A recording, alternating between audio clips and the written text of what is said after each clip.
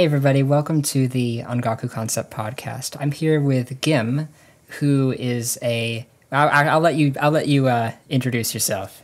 Hello, everybody. My name is GUIM, and I am a music theorist. I run a channel on YouTube called Music Theory with GUIM, where I talk about mostly works from the Common Practice period, as well as like retro video game music. And that's pretty much it. This is unrelated, but would you would you say that there's such a thing as a common practice period of video game music? Um, because it's like there's a period of time in the early days of video game music where the hardware limitations kind of forced composers to work in certain ways and I think that may have developed sort of a. This is way off topic from what we're gonna what we're gonna be talking. It's not entirely because whatever, it is. Um, yeah. Do you think something like that makes sense? Um, yeah, absolutely. So for me, because I could see you as being like a a, uh, a a scholar of the common practice period of both uh, art music and video game music. Yeah, I've never really thought about it like that, but I think that's would end up being kind of kind of what I would fall under. But uh, mm-hmm. but yeah, I definitely I think that like right now, just because of technology and um, which before I go any further, this is by no means me saying like oh the old music is so much better. But um, I do think that like right now, just because of technology and how um, video game consoles and stuff can can run music differently is we are hearing more kind of film esque music and the mm-hmm. barrier between like what is video game music um, in the sense of like if some just like random person happened to walk by and you were like hey can you guess if this is film music or video game music it, it probably wouldn't be able to tell um, in a lot mm-hmm. of instances and uh, the um, uh, like a I mean, it's still a big part of it is that we do have like looping music, which mm-hmm. isn't really part of film music. Um, yeah. Since it's set to a like you know designated amount of time, but uh, yeah, in the early days, it's it's really interesting and um, which for me is the early days for me is NES music, and um, is like you hear there are like very per- particular things about, about about the music um, for instance, a lot of times you'll you'll find things that if you try to kind of pinpoint the harmony in like a triadic sense, it ends up being really hard to do so without kind of mm-hmm. taking liberties, just because um, just the way they like used voices, it, it was almost um, in a way kind of like how in like early modal music, like pre Baroque period, it wasn't you weren't really concerned about harmony in the triadic sense of of like chords the way we think of them today. It was more of like melodies that had to be harmonious. And uh, a lot of NES music can kind of end up being like that. Uh, like the Metroid soundtrack has like a lot of uh, moments that are really hard to kind of define as like it's this chord. Um, it leaves out a lot of information. Um, and then also I think in that period you have like a lot of a lot of rock influences, and you end up kind of hearing things that kind of go between its own sounds uh, kind of like common practice sounds. Because um, you did end up mm-hmm. with a mm-hmm. lot of composers that were like pianists, and uh, mm. um, and then you have like uh, like rock music was like a big deal. So a lot of things end yeah. up being like power chord esque, and yeah. when you try to like impose a third on it, it just sounds really weird. Like uh, mm-hmm.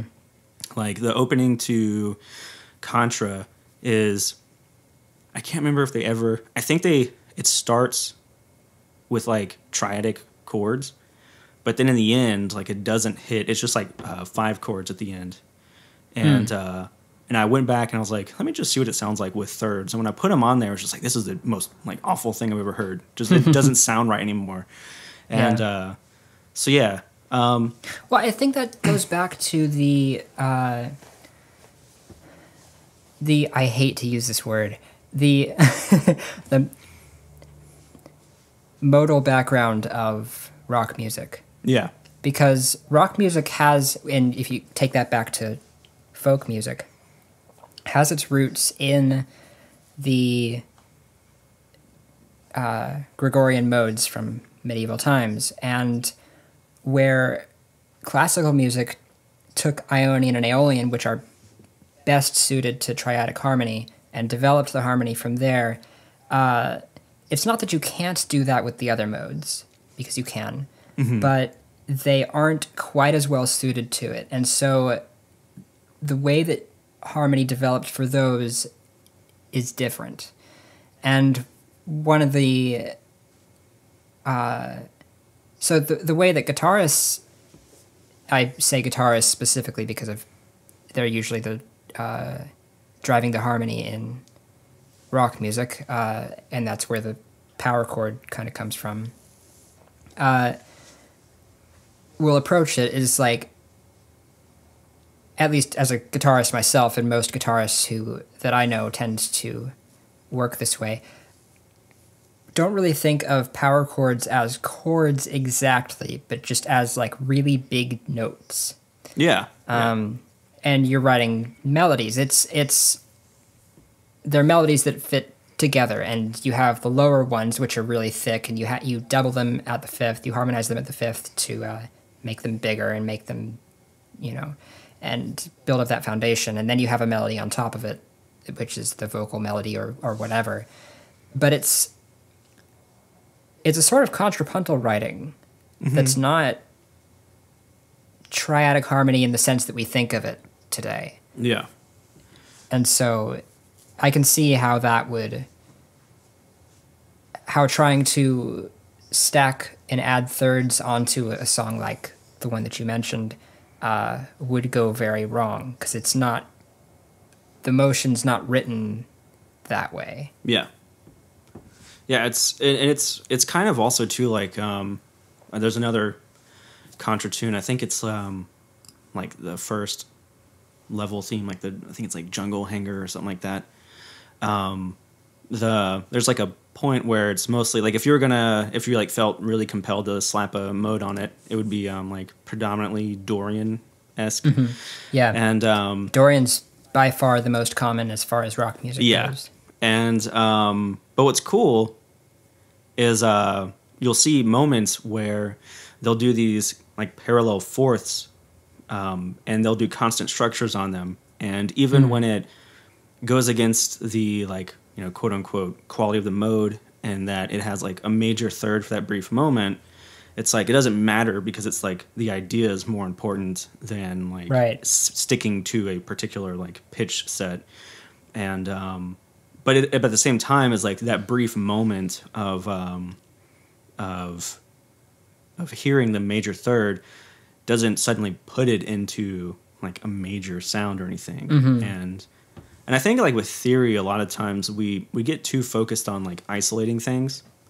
And that, and that's why like so I, I like I I um am part of like some music theory groups um which uh which by the way if um if anyone cares I did recently start a uh a music theory group on Facebook that's like exclusively for like intermediate to advanced stuff um, That's exciting. and uh, it welcomes like any styles. Um, it's still really small, um, but it will be like monitored in the sense of it's going to make sure that everything is intermediate or above, and that's Mm-hmm. not, you know, in, at all in the sense of uh, like, oh, your question's not good enough. It's just not the place, you know. Like you wouldn't walk into Mm-hmm. Yeah. like a fourth year class asking first year questions.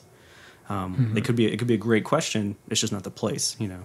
Yeah, you're, you're trying to have a more focused Um, Yeah. discussion about Yeah. a certain level of theory. Yeah, and that's just because usually whenever you have like music theory groups that are young or like small, they'll tend to have like really interesting discussions, like for kind of like or really just more headier kind of discussions, uh, just because you know I, I guess it's in the sense that like the more popular things become, just the greater influx of I don't know. I guess just I don't know how to phrase it other than being like lower leveled kind of um, people, just because, especially with music theory being such a specialized thing, like tons of musicians don't even want to care care about uh, music theory. So, Right, um, right. But uh, but yeah. So if anyone wants to to check that out, it's uh, Music Theory Two, like Roman numerals, and uh, intermediate and advanced. And you just send in a request and you'll get approved. Um, and even if you don't feel like you are at that level, um, I definitely encourage you to still jump in and just look at things because um, there's already some people on the list that you know have uh, PhDs, or professors, and then retired. Um, you know, like some really kind of inspiring uh, people to check out, and you might just come across terms that you've never heard of, and then thanks to the internet, you can look them up. And uh, I know for me, like a huge part of my learning wasn't really in the classroom, but uh, like in university, but was more so of just like coming across like random terms online and being like, yeah, huh, same, and absolutely. Just like googling it, and then you'll be like, "There's not a Wikipedia article for this. This must be awesome," you know. like, um, so yeah, and and there are tons of things like I remember being, um, like, fourteen or so, and uh, I think just like I kept coming across the idea of counterpoint, and uh, mm-hmm. they would um, you know recommend the standard of uh, of Fuchs, and uh, it'd be like, um, I'm like, yeah, I'm gonna get that book, and then I got it, and it was just like totally over my head at the time. So it was, yeah. it was just like, well, but then I had it, you know, and I came back to later, and uh, I guess the point with that is that what's cool about music, and I guess like with life in general, is that you know if you come across something that you're not ready to understand, you can kind of like put it in your back pocket until you're ready to understand it, and you know other times you might come across things where you understand like what the idea is communicating and uh, mm-hmm. you just don't agree with it. And you might find like years later you're like oh i i don't know why but now i get it. I get mm-hmm. exactly where it's coming from or at least where i perceive where it's coming from. And like i fully embrace this idea i know that's happened like with me like for instance like the cadential 6-4 um, mm-hmm. and the whole debate of like is it a 164 or is it a 564 um, hmm. For for a long time, I took like a neutral position. I was like, I'm just gonna I'm just gonna call it a cadential six four. I don't have to worry about any yeah. of it. And uh, I was more on the one six four side.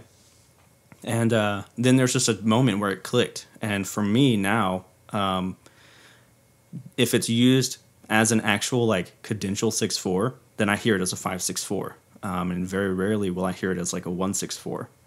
But if it's not mm-hmm. used in that manner, and this has to do more with just like than just harmony, but also uh, the context that yeah, in. absolutely, and also and that and context doesn't just mean like what directly comes before it or what's going to come after it, but also to like just like structurally in the form. Um, mm-hmm. You know, it's like is you can feel those things like subconsciously. You know, just because of yeah. like the way we're nurtured. You know, um, but uh.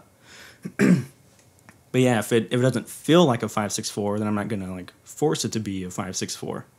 Mm-hmm. Um, so so yeah, yeah. So I guess that's a really long plug for for for a Facebook group. Yeah. So if you wanna if you wanna join it, you know, feel free. Um, I'll put a link to that in the description. Cool, cool. Um, um, so I wanted to. The reason why I've got you on is because I wanted to talk about an exchange that we had uh, on a Twitter thread uh, semi recently. So I made a tweet um, about a chord that some of you may be familiar with. Uh, I've talked about on this channel in the past, uh, which I've called the Blackadder chord. That was kind of a joke name that I gave it. Uh, it's it's an augmented chord. It's an augmented seventh chord in the third inversion. Uh, it doesn't really function like that. Uh, I will.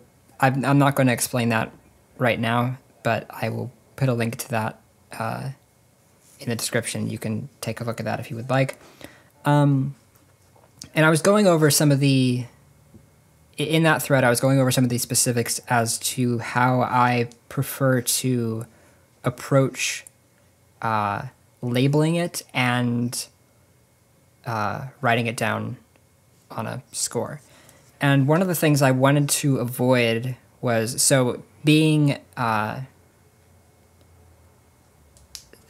it's the upper structure of the chord is an augmented chord, and then you have a bass note that's not it's a non-chord tone.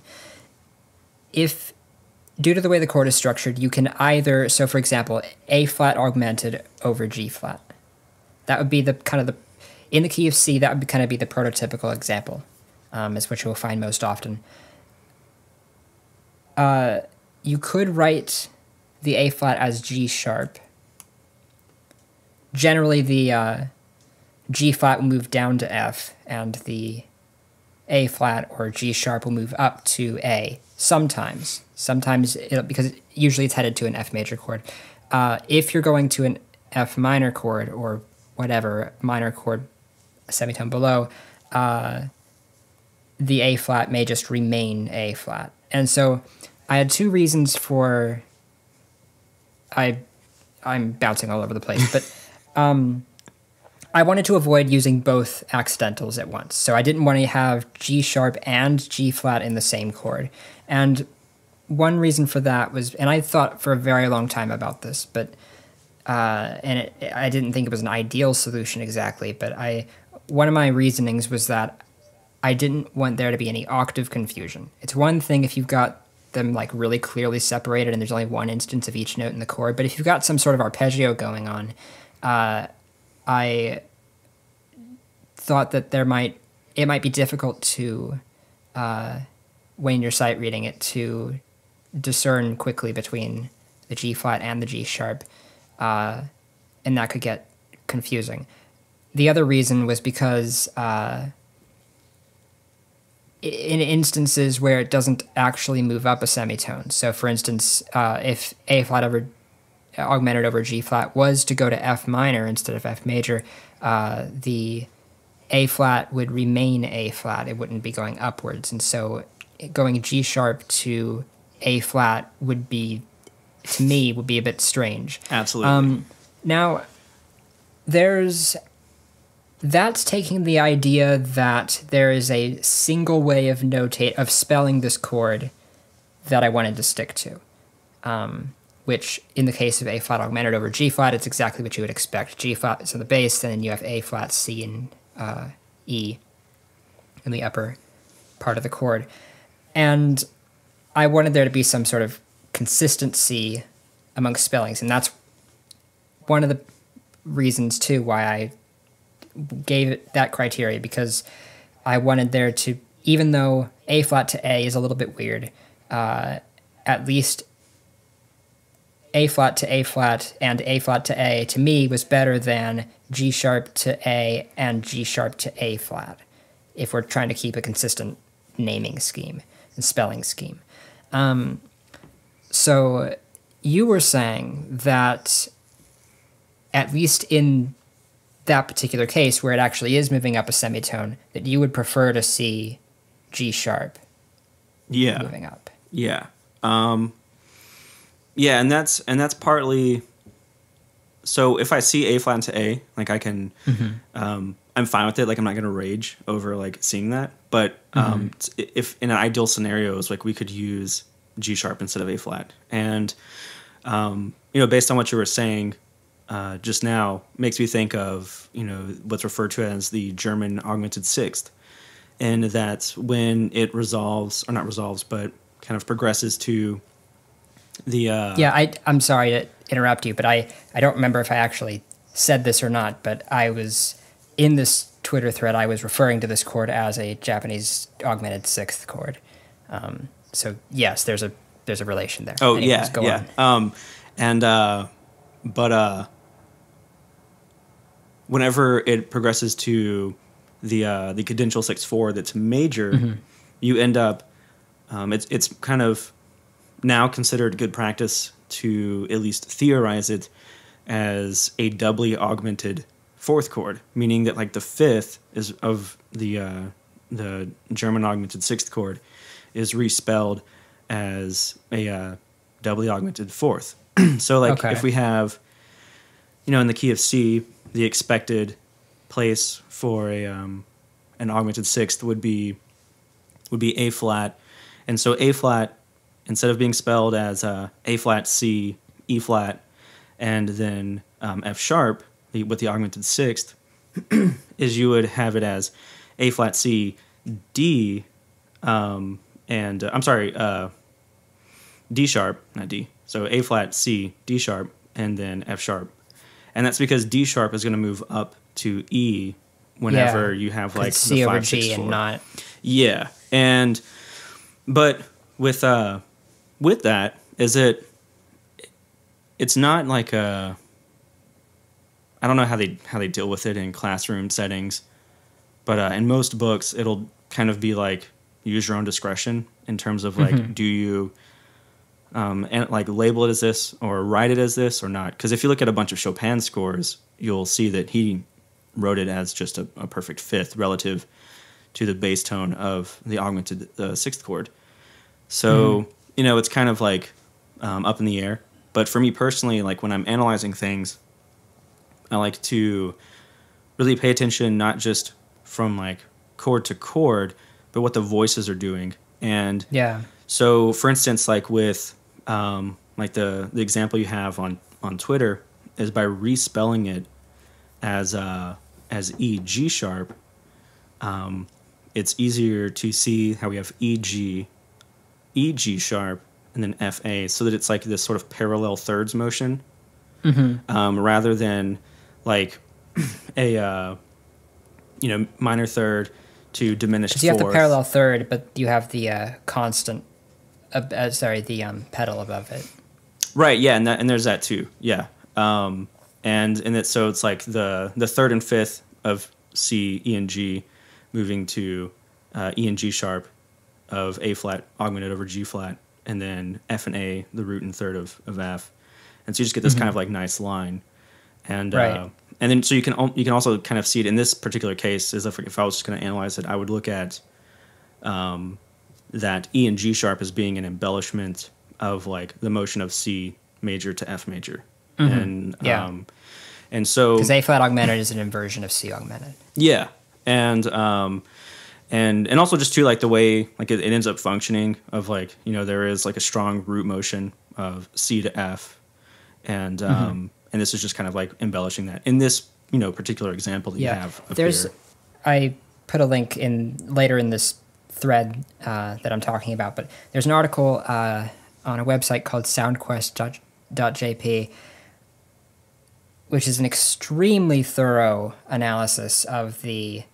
It's one of the most thorough articles I've ever read uh, of this chord and different ways that you can look at it and how it might be applied. And one of the ways that the author uh, suggested looking at it, amongst others, was to think of it as you have your C chord and then you augment that, then apply a tritone substitution to the bass only and not the rest of the chord.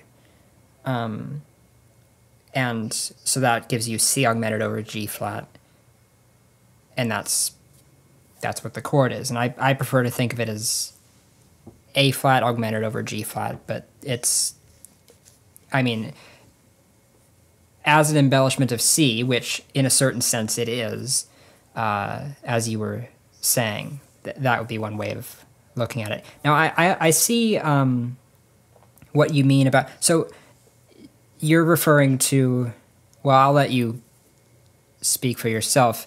Uh, can you explain why? And I I think I understand why, but can you explain why um, you would prefer, uh, in less maybe in practical terms, why you might prefer um, G sharp to A flat in a, in a scenario like this? So by practical, do you mean practical in the sense of of Uh, reading, like sight reading or something. Oh, okay. So for sight reading, ab- absolutely not. I would not like view that as totally practical because there is that like, um, you have that uh, like cr- the cross relation of like G flat and G sharp, and you know unless unless it just becomes part of the repertoire and that standard is set like so heavily, then it ends up being, um,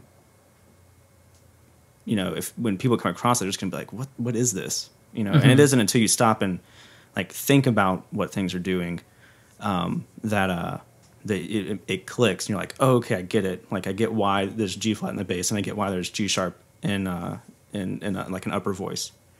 Um and you know and a, and a large part of that just has to do with you know the way so like the way we're at least in the in the West, like the way we're raised to think about music is uh, tends to be very harmonic, and when we think about harmony, it's, it tends to be very like in a very tertian format, um, and you know, so we we tend to think of things in thirds, and when you start breaking that apart, So vertically instead of horizontally. Yes, yeah, yeah, in, in vertical thirds, and uh, and even when we organize things, is we somehow find a way to relate it like back to being tertian in some way, um, and uh, and and like with that the the trying to think how to phrase this, um,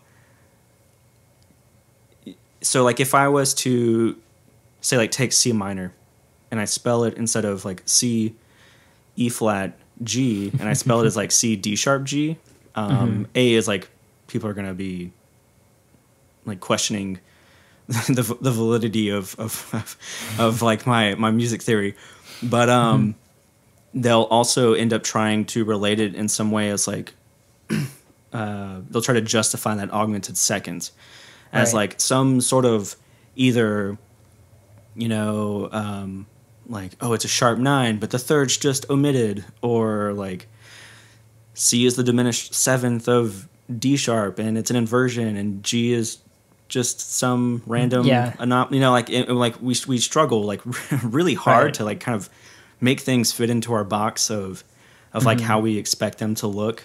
And uh That's kind of what I was going through with this chord when I first discovered it, and that's why I, it, that's what prompted me to come up with a new name for it. Yeah, and and yeah, and, and there's so many moments like in especially when music gets really chromatic that uh you just have to like kind of compromise where you're like, okay, if if I spell this this like motion uh, this way and I spell but then I can't spell it this way to imply this information and, and so it just it gets really like convoluted and you're just kind of like, you know what, I'm just I'm just gonna say forget it. And uh, if I can't if I'm not gonna sit there and explain why I'm doing it this way, I'm just gonna go with like convention, you know?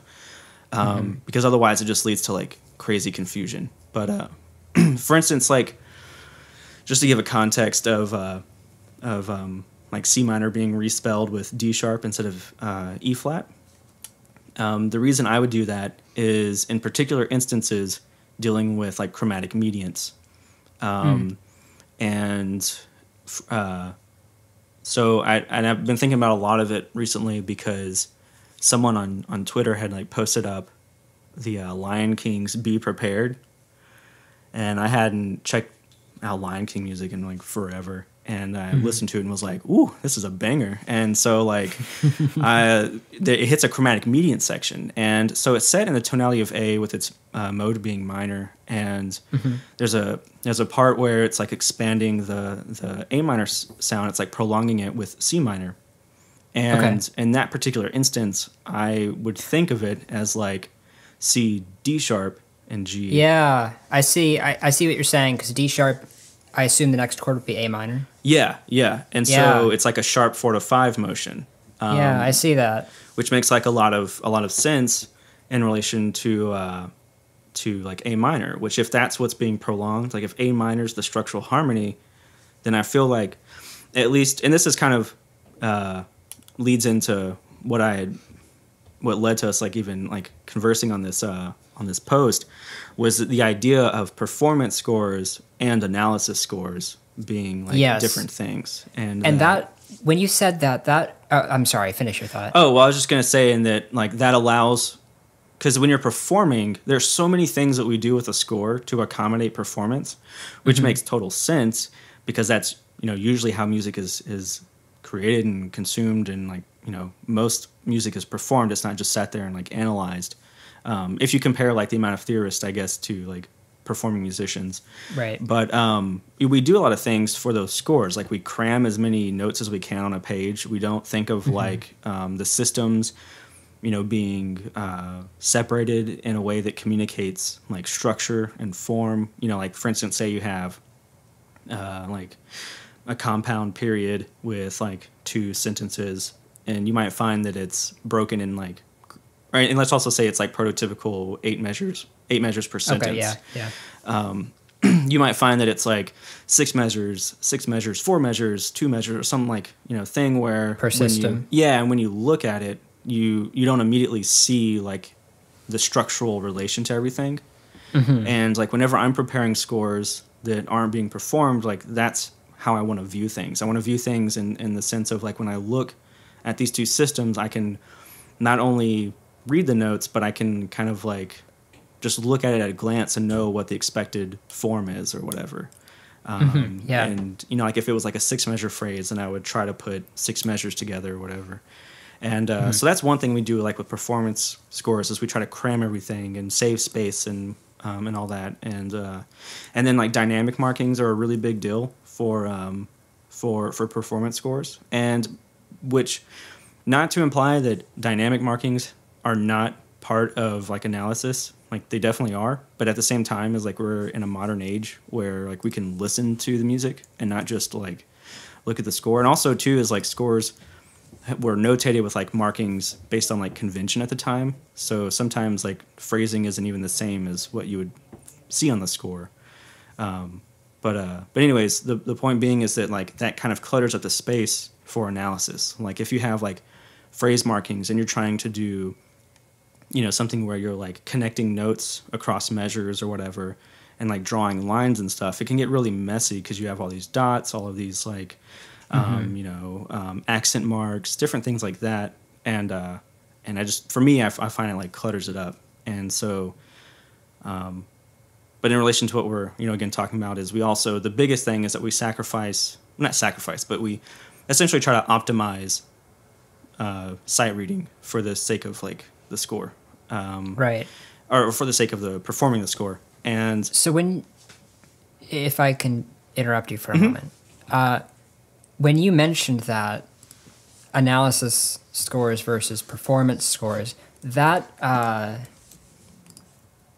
a light bulb kind of came on in my head when you mentioned that um, because I, I hadn't consciously thought of that distinction before you said that but when you did i realized that that was something that i that that was a um, struggle i guess that i dealt that i've dealt with continuously since i started making scores and still do uh, which shows itself in all kinds of different ways. And one one of the things uh, that i that's eternally frustrating is the as you brought up how many bars to put in a system um, for for readability and for uh,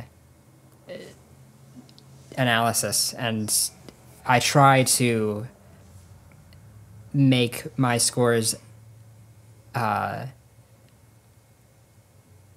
as equally efficient for both of those purposes as possible. But it's not always you can't always win with that. Yeah. But like, I mean, when so one of the things that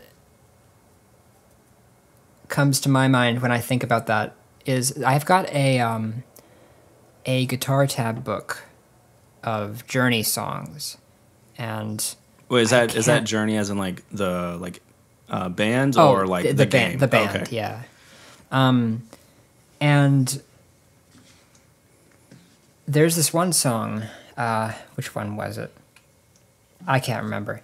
But there was a there's a part where the guitarist was uh, playing an E power chord, and he was alternating between. So you have like the root uh, fifth and the octave, and he was alternating between the octave and the seventh and just as an embellishment of the of the chord and so the um the score had chord names above the uh, score and it was labeling it like e5 e5 major 7 or sorry e major 7 no third e5 whatever and like that was really frustrating to me trying to learn it you know Yeah. back back when I was doing it because I didn't understand how to.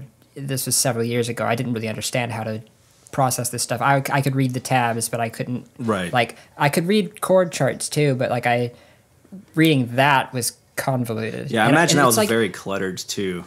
Oh yeah, it's it. Honestly, it was an awful scorebook. um, I didn't, I didn't, I didn't have the uh, perspective to see that at the time. But Right. like, but it was that was a case where the, um, the chord names were trying to do the job of the score, mm-hmm. and that's something that I've found, and because to me, I would just write that entire section with just a, an E Yeah. chord Yeah. it, you know. Like as in like an E major chord or Right, right. So so if you recall, was it actually like implying like a Yeah, major it was, it was absolutely E major. Oh, okay, okay. So overly convoluted chord names uh, or overly specific chord names, I think, are Yeah. something that I really it it really depends on the situation. Again, Mm-hmm. it's performance versus analysis. So, for example, if you have a if you're giving performers a chord chart and that's all that they're getting, um, and you have a really convoluted chord like an E7 sharp 5 sharp 9 or something and you really want that specific chord played, Mm-hmm. like you're going to have to write that down Yeah. if you're not going to use a score, if you're resigned to not using a score, and if you're going to, um, and you can fi- you can find other ways to write a chord like that if you want to, but it, uh, then I can't think of examples off the top of my head. It would probably just be like alt. polychords or whatever. yeah, or, or Um, yeah. Yeah.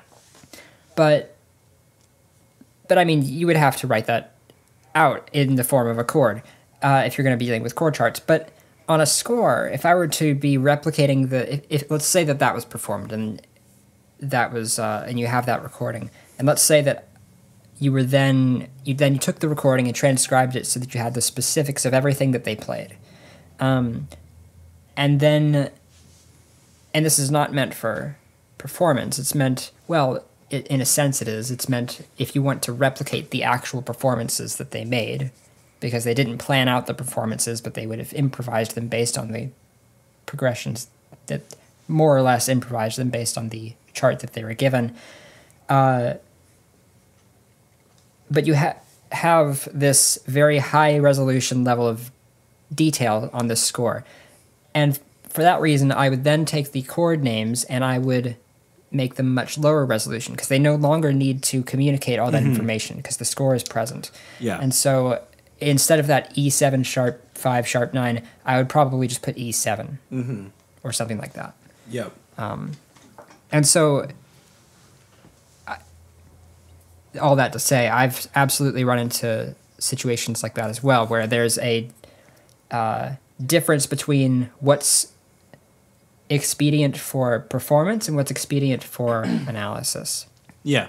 Um, yeah, and what's yeah, so like with that in mind, um, uh, eh, so like t- talking about like chord symbols and, and labels and like having and having like so if you have a score in front of you, um, you know, I, f- I find this was something I learned like fairly recently, um, the last like two years or so, where you shouldn't feel compelled to put a chord label on everything, and that it's okay for it not to be like a chord. Um, you know, even if it looks like a, a vertical voicing that you might instantly be like, oh, it's got to be a chord. It doesn't necessarily have to have like a chord symbol, and um, and there are so many moments where like when you start using really convoluted uh, chord symbols that it, it when you look at the chord symbol, at least for me, you you don't relate it to what it's actually functioning as.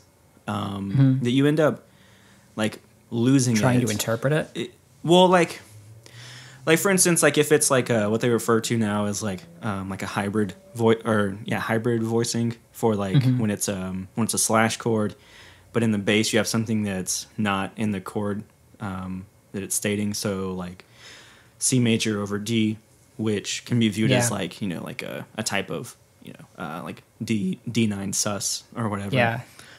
um, like that's not really a good example because it's so common that I think most of us would Yeah. see it and be like, I like, mean, like that's that's D9 sus, but like it's written in a way that's more efficient to read. right. C over and- D is way easier to process. Yeah, but whenever it comes to like uh, for me, like when, when, with analyzing, and again, that wasn't a great example because of just how like common that voicing is.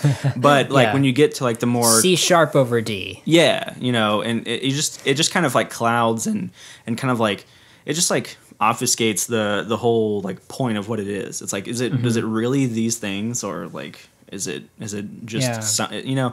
Um, and another one that's kind of that I had to like really get over because of jazz school is uh, seeing notes and not assuming they're part of the chord, um, and not calling them like an extension. And that's like Right. nowadays is like and like immediately is like so irritating to to see something used as just an embellishment and it be called Yeah. a chord tone and Yeah. you know and i remember Yeah, that's something I've that's that's also something that I've a transition that I've gone through as well Yeah. over the past year or so.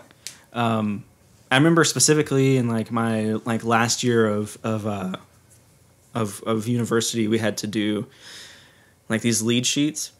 they were like transcriptions, but they had to be written as lead sheets uh, for people to perform.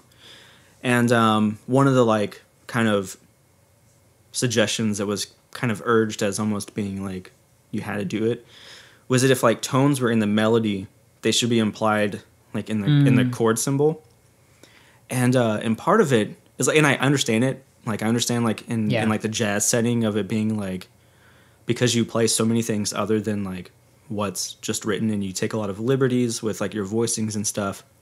But at the same time like even if you end up clashing if you resolve it it's not a big deal. But the problem is that like when you have a chart and you put like melodic tones in the chord symbol and then it goes to like you know improvisation like soloing or whatever is like but were those really part of like the harmony like w- or was it just Yeah. an embellishment should that be considered part of like you know the the sort of i guess like uh where the soloist like departs from and and, and Right. thinks of like of things um and uh yeah and then you you know you look at stuff like uh um i mean a like chopin or um, beethoven like there'll be so many moments where they play these like if we were if we were gonna like put a jazz chord on it it'd be like these like ridiculous chord symbols Uh-huh. just because uh, it's and it's just embellishments and like when you listen to it it's very clearly embellishments um, Yeah. and you know in in, in people like you know like like uh, like Charlie Parker or Bird would play like major sevenths on top of dominant seventh chords or major minor seventh chords. And but it's it wasn't that it was like implying the presence of both sevenths and like this like really far out weight. It's just like a, Yeah. a, a, a chromatic neighbor tone or or like you know it, it just intensifies that the root of that chord. Um, and you know chopin does it. Uh, there's even like an instance where uh, it's just like ridiculous moment in um, a piece by uh, schumann that's like one of his lieder and uh, it's like a an f sharp half diminished chord and like in the voicing you have e um, in like the piano accompaniment but then the vocal like right as it hit it's like you hit that chord the vocalist sings an e sharp and i think it's like even a minor second rub against one another. Yeah. and it's just like this it's a really fantastic moment because it's so like dense but at the same time it's not like oh this is a half diminished Yeah, major yeah, seventh you know like Right. um It's F sharp diminished. yeah.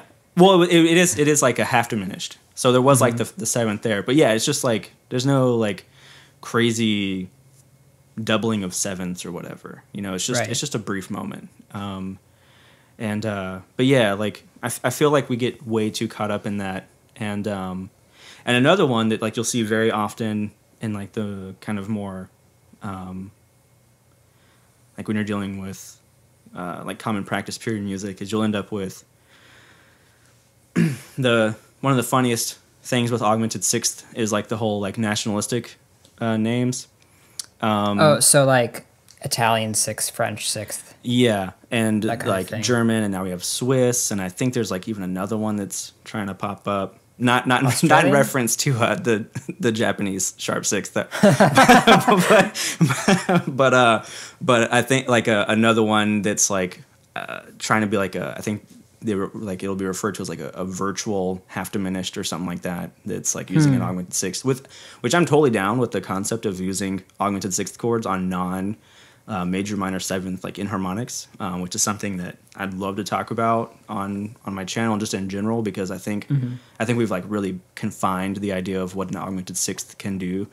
But uh, but the point of why I brought this up is that you'll see in scores where um, a uh, a composer will have a melody. Um, so say we're dealing with again in, in the people's key of C, we have uh, A flat augmented sixth, and um, we have uh, like the notes um, like E flat D C. And let's just say that like in the accompaniment, it's just the voicing of what would be referred to as an Italian. Well, you'll see in uh, like analyses, they will literally put German augmented sixth, French augmented sixth, Italian augmented sixth. Even, like, and to me, that's just like so. Like, do we hear that? Do we hear it as like, wow, they went through like these three different variations, or was it just like a melody? And at the end of the day, it's just an augmented sixth chord. And do we really need Yeah. to note like? It'd be kind of to me, it's kind of like the Italian augmented sixth is kind of like saying, oh, it's it's a dominant seventh, but with no fifth. You know, it's just Right. like, do we really need to say that? Um, Yeah, that or- makes sense. or like uh, for instance like on on in like the jazz world uh, when you have tritone subs um, which are in like the basic manner just essentially like augmented sixth chords um, they uh, you'll end up having like it's it's usually understood that if a chord is functioning as like a tritone sub that it has like a sharp 11th um, but you don't have to say that and you wouldn't say like G flat seven, G flat seven sharp eleven, G flat seven. You know, like it, it would just be G flat Right. seven, and it's just understood that these extensions are like part of it. You know, um, and and also too is like just extensions. It, doesn't have to be necessarily a chordal extension, which is another big thing I'm currently kind of going through is determining what should be considered a chordal extension versus just like part of like the sound. Like, does it function as a chordal extension in like the kind of like the traditional So sense? by that or- you mean like chord tones? yeah, so like, um, and also too is for me is like anytime you're analyzing music, you have to also kind of consider what like the standard practices of like the music you're analyzing and um, and what period you're in, and uh, but then you can also of course like just come to music with a completely like neutral mindset of just whatever you think of is what you think of. But uh, the point being that chordal extensions being like, um, you know, like when you have like a seventh um, a seventh can appear and be used, but is it um, is it operating as like is it operating harmonically, like leading as like part of the counterpoint or the the voice leading, and that like sevenths tend to you know uh, fall down, um, and so they can fall down in the same register. They can transfer to different registers, but um, if it if it if it moves in a way that say it's like just part of the melody Right. and say say you have like and it's just an appoggiatura to the one or something like that. yeah or or even like if you have um something like uh like you have an, the you're on the one chord of like C major and you're you have the note E. And then you go to the five chord and the melody's ascending like through F. So you have like F G and then it does whatever else. It's like is that and that's the only time like that F pops up. It's like is that really implying a seventh chord or is that just like a brief moment? Like does it really need to be part of the harmony?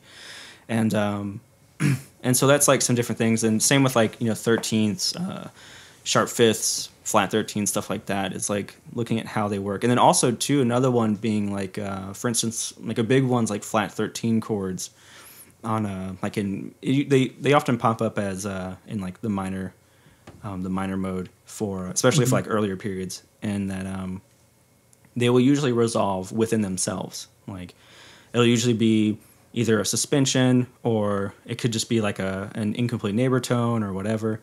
Um, and uh, it'll just resolve within itself so i wouldn't look at that as like a chordal extension that leads into like the next chord i would i wouldn't view Right. it as necessarily being like say a uh, a G G7 flat 13 or like if A flat appears and it resolves within itself or within the chord, I wouldn't necessarily think of that as like a G7 flat 9 um, because it's not leading into like the next chord.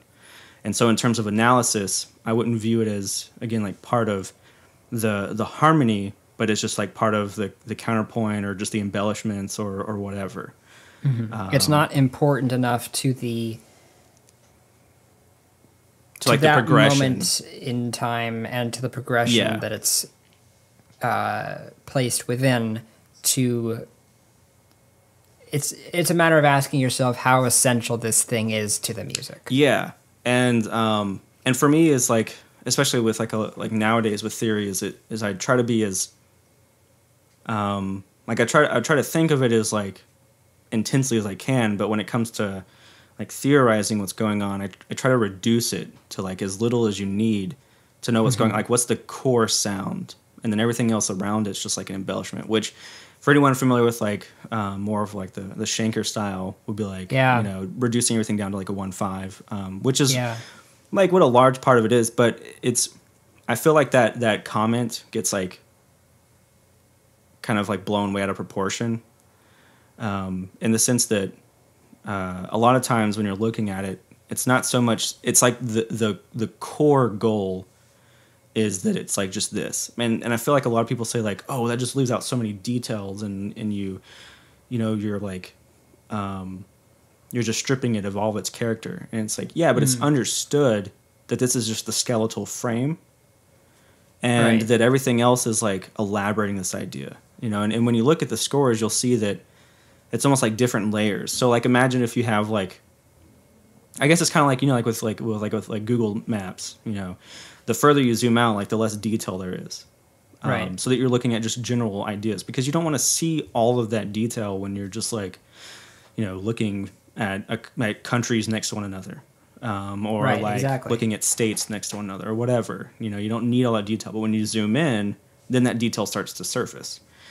Um, and so i feel like with analysis and then like analysis like scores is like that's kind of part of it too is is you're reducing it and um, but also thinking of it like on a very technical manner. But you don't have to label everything. You can because the notes are there um, and I, th- I think that's like something that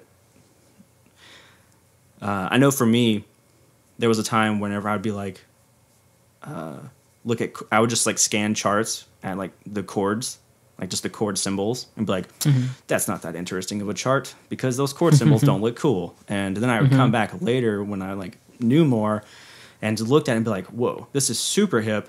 It's just all this stuff is happening that's not like in the chord symbol. Because the chord symbol is just like you know it, it is what it is. Um, but uh, you have to like look at the notes. And i feel like a lot of us especially those of us that aren't like trained classically like from the time we're born basically um, is uh, we we tend to like until we reach a certain point we tend to avoid that. I know i did. I avoided reading Yeah. music for like a really long time. Yeah. Um, and even when I started learning to like read music, I, I would still avoid it, and I would just try to like look at the basic, you know, kind of uh, like the the chord symbols or whatever. Um, so yeah, it's it's you know, um, music theory is really wild because it's just perspective, you know. Yeah. Uh, yeah, you have to ask yourself when you're making decisions like that for how you write something down or how you look at something, what are you trying to achieve? Yeah, And maybe you don't know that, and it, it takes a little bit to work that out. And so maybe there's some trial and error involved, Yeah. which is fine. But like, eventually you have to, um, especially if you're preparing a score for somebody else to read uh, or for yourself to read later, uh, you have to ask yourself, like, what is it that you're trying to do? Because certain decisions are going to uh, be more effective to that end than others. absolutely, yeah, yeah, um, yeah. So there, like, there's kind of like And that can be debated. Like, Yeah. you can have people who disagree that, like, the one per for the same reason. Like, you can have, anyways, but, and that's fine. But Yeah, yeah. I mean, and, uh, and you know, for what it's worth, disagreements are are totally fine, um, and and that's a big part of of theory. Is you're going to run into people that um, perceive things very differently, and that's that's great. I personally like I love that, um, just because it's just it's perspective again. You know, like some things, it's like you literally have to change the way you hear in order to like understand the hearing, or sorry, understand the theory.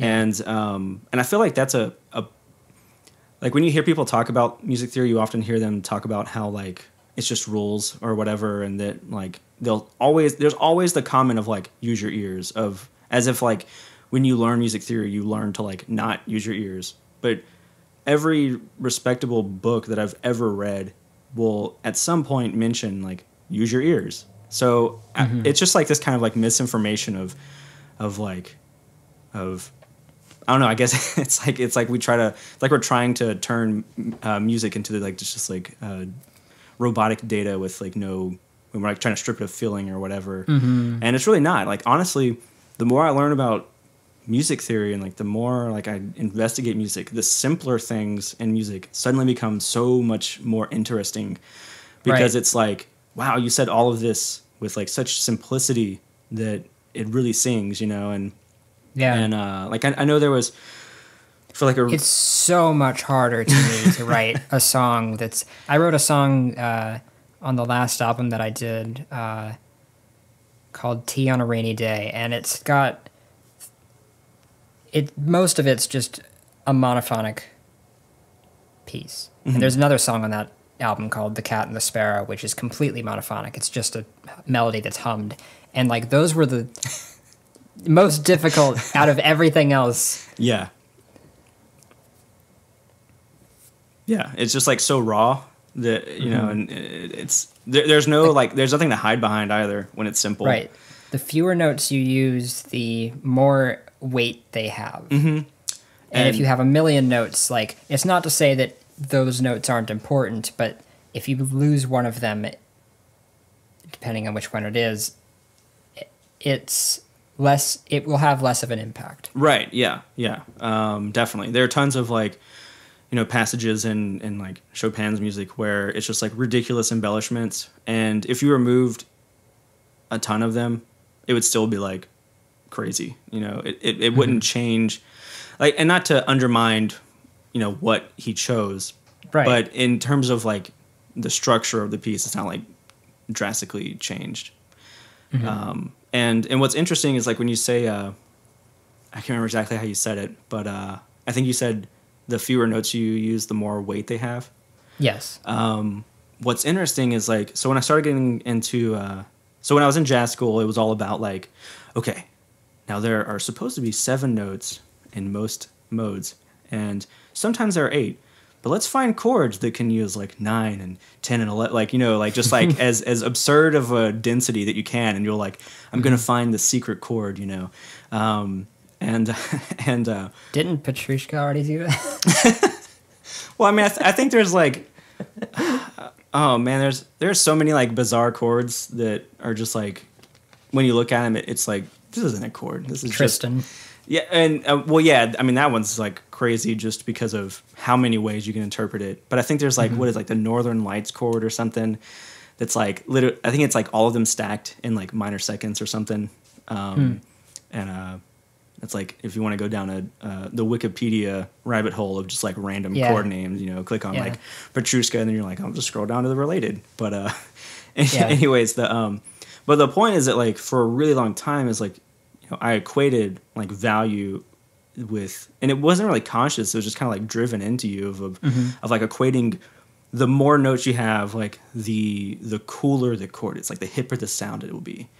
And mm-hmm. um, but when I started getting into uh, to like chromatic medians, and and those kind of relationships, um, I found that the more notes you put on those chords, oftentimes it, it takes away the impact that they have. Like mm-hmm. it takes away the the relationship because you have even more common tones uh, when you have extended chords, or or at least like the opportunity to have more common tones.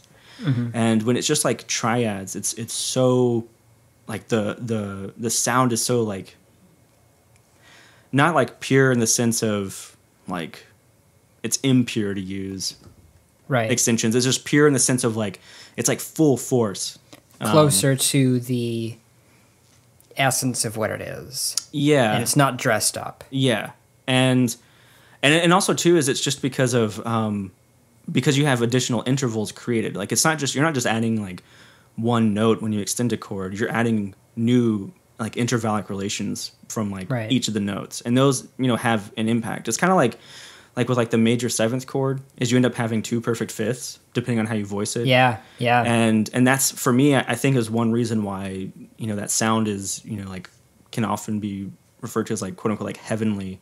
Um, or like uplifting because it's just it's got two fifths in it you know it's so like smooth Mm-hmm. but even though it's got that dissonance of like a major seventh which you know like if you put it on like a minor chord Mm-hmm. but it's balanced in a yeah, yeah, within it. Yeah. Um, so that's it's a it's a really I don't know it's it's really interesting to the idea of of like less is more, but then at the same time is you can turn around and have stuff that's super dense and you're just like this is the raddest thing ever.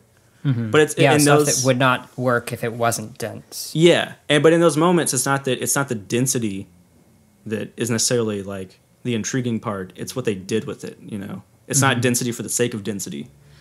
Right. Um, and I think that's like something that we can get caught up in, you know, especially like, like when you're getting into, you know, quote unquote modes and stuff, and you're like, ooh, how many can I jam in like one song, you know, and, and it's kind of like, okay, but like, what does that achieve, you know? right. So yeah. I mean, I mean that can be fun. oh, absolutely, like, absolutely. I, you can play games with music and have a lot of fun with those, and like have a you know write a piece of music where you uh, transition between modes every like four bars or something like that. Yeah. Like, that's that's fine.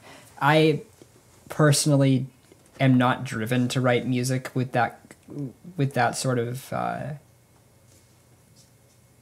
goal in mind, but Mhm. like, but there are certainly lots and lots of other ways to approach it that might be worth exploring if you aren't familiar with them. Yeah, and, and I definitely think um, I, for me I th- nowadays I think of modes more so as like because I think of of everything now in terms of just like the chromatic scale, which before I mm-hmm. thought was like such a cop out of people being like it's just chromatic scale mm-hmm, in mm-hmm. terms of analyzing stuff. But now like like that's how I think of everything. I just think of I think of everything being moments of like tension and release, and I don't really equate it to like scales, and that's why nowadays you'll unless it's unless it's very very like strict of like this is definitely based on like the Dorian mode or whatever. Um, I will typically refer to things as either being in the major or the minor mode, um, and that's just because hearing that sets up specific tendencies Um, Right. and in the sense that like for instance if you if you establish that you have the major mode if you were to like say do like a strong like 5-1 um, if you were to play say like from say like g7 and you're going back to the tonic and you've never you've done, you've not done anything to insinuate a change to to like the minor mode um, if you play like say what looks like a major minor seventh voicing to me when I hear that, unless it's done like very specifically, um, it ends up sounding not like a major minor seventh chord at all. It ends up sounding like a um, an embellished uh, or, or like a delayed resolution, and that B is the delayed resolution of C, and then E flat's actually to me heard as D sharp, and is a delayed Yeah. resolution of E because like that mode is already established. And so that's only nowadays. So it takes a little more effort to to solidify it as C minor. Yeah, and um, and you know, same thing with like when you have if you do like what looks like a diminished seventh chord on like the one chord, is it ends up sounding like just uh, embellishing tensions that can be referred to Mm-hmm. as like just incomplete neighbor tones usually. Um, Yeah, and instead like of on the one that's I, I've heard in classical stuff, it's often referred to as a common tone diminished seventh. Usually the bass isn't on one, but Yeah, yeah. So usually, and there's like kind of it depends on who you're talking to in terms of like how it how it is written out. But um, normally, like with your common tone diminished seventh chords, you will try to spell them with the most like common tones used. So, for instance, like on the one chord, you would have a sharp two diminished seven. So, for in C major, that would be D sharp diminished seven, and that's because C, the seventh of D sharp diminished seven, is like in the bass.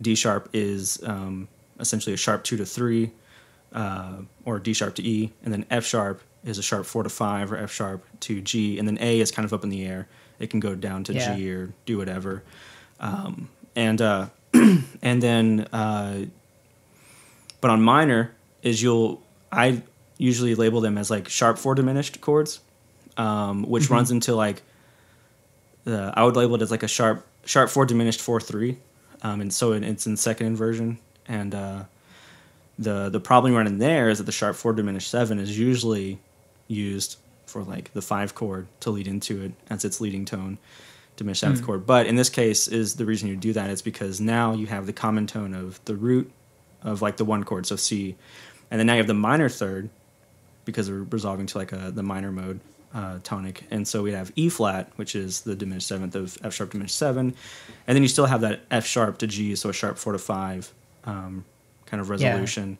So, but but like with those, um, is even though we refer to them as like common tone diminished seventh chords, there are a lot of theorists who are like, but they're not really chords.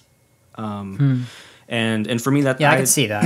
I, I stand in like that kind of mentality of they're not really Yeah. chords they're just uh, they are simultaneous tensions that, It's like it's like a sus chord, like sus four or something. That's like it's not what would tip. It's not like a triad or anything like that. It's yeah It's something that's going to something else. It's clearly going to something else. yeah and and and, it, and that's also where like the whole like 564 versus 164 comes in is the idea of like is it really the tonic chord is it functioning as that or is it really like tensions against the five chord um Right. you know so uh but what's uh yeah. And yeah. The But I, I see what you mean about the chromatic scale because that's something that, that I also, uh, I, I also ended up analyzing most music that way. I've come back around from that to thinking of uh, major and minor and then a an overarching chromatic scale. So I, I I've come back around to reforming the major and minor uh, scales as primary classifications underneath that. And, and you, you kind of mentioned that anyways, as like you'll classify music with a certain, assuming that we're in a key, with a given tonal center, and then uh, whether it's a major mode or a minor mode. Yeah. And that's also, that's, that's as far as I go as well. I generally don't go any further with that. But and sometimes I don't even say major or minor because it's Yeah. not even like in a lot of rock music. Yeah. You'll find that it, it- both are used interchangeably. Mm-hmm. Um, both thirds, I mean, yeah yeah and which is really interesting. Uh, and that's well, I could go on a rabbit trail with that, but I, I, I won't. yeah um by the way have you ever are you familiar with uh sectional tonality at all I am not. you might want to check that out because uh, since it um, from what i know is like it seems like you're a really part of what you study is like rock based music and um, sectional tonality it's not something that i'm very like well versed in. I understand the concept um, but the idea is that like so in traditional in the traditional sense like modulation is like when we go to new tonalities um, for like a really long time like new tonalities are still related to the underlying like primary tonality. So these are like they're all more like secondary tonalities. Like for instance you know like in a sonata form you, you'll go to like the dominant Okay. or yeah, you yeah, might go to like the the the mediant key in if uh, in like minor modes it's really Mm-hmm. common um, but it's understood that those departures are developing the overall end game kind of thing right. and uh, and for instance, like there's there are tons of, and this actually goes back to the analysis scores. Um, there are tons of times in music where you go these like really really like deep rabbit holes of modulation that when you look back at them end up being like some sort of like pattern or there's there's some sort of logic between all the modulations that at the end of the day more often than not especially like in, in earlier period stuff is all of that was just a really really long and super interesting way to basically get to the five chord at the end um, to close it off. And so when you look back at all of it you can relate it um, to like it's just developing that underlying tonality. And that's where like for me the chromatic scale idea comes in because uh, you'll end up with uh, lots of for me like there's terminology that i feel at first makes it easier to digest music. But if you don't get past that point, it kind of locks it into this grid of being like, for instance, like secondary dominants. Um, I'm not a huge fan of like that term anymore because Really? and and the reason why is is uh, because when when people say it, it's understood. Typically, it's understood as a reference to this is a dominant seventh chord um, being pulled from that particular key. So, like if we're in the tonality of C, then like D seven would be like, oh, we've suddenly switched to G real quick, and we're emphasis like we're doing a five one relative to G. And for me, I prefer to think of it as um, emulation. Uh, I think of it as uh, dominant emulation, and I think of sometimes even more specifically as a, as leading tone dominant emulation. Um, because also because I think we undermine the value of uh, non-leading tone dominants, but that's like a different topic. But anyways, like I think of like when the when when D appears to to lead into G that it's used as like an emphasis or like an intensifier. It's not like there's no moment where you like derail from C in like a prototypical sense. Like you you, don't derail mm-hmm. from C. Like you're very clearly hearing C is still the tonality. It's never in question.